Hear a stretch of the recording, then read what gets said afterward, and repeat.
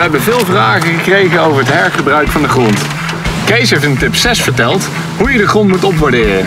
Maar of je de grond ook kan hergebruiken, dat hangt af van hoe je het substraat verzorgt.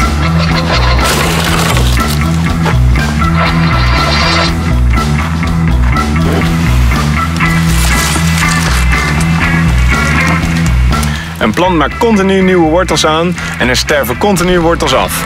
Dit afstervingsproces zorgt voor een infectiebron voor ziektes en vult waardevolle ruimte met dode wortelresten in plaats van lucht.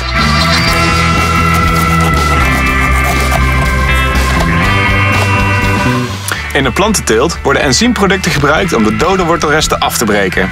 Hierdoor ontstaat er meer ruimte voor lucht en de vrijgekomen voedingsstoffen kan de plant weer opnemen. De substraten waarop gekweekt wordt kunnen hierdoor hergebruikt worden.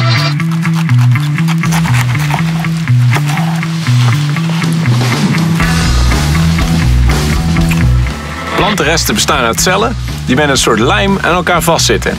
Wil je de plantenresten verwijderen, dan moet je de lijm tussen de cellen afbreken en de cellen stuk maken. Hiervoor zijn verschillende enzymen nodig, waarvan twee belangrijke met een test aangetoond kunnen worden. Eén enzym lost de lijm tussen de cellen op en het andere enzym maakt de celwanden stuk. Hey Surf, stukje. Zonder deze twee enzymen kan het enzymproduct niet goed werken.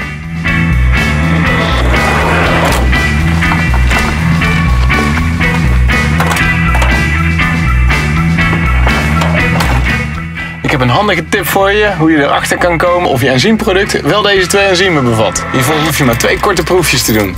De papierproef en het appelmoes-experiment. Download de PDF waarin beide testen stap voor stap zijn uitgeschreven, zodat je thuis je enzymproduct kan testen.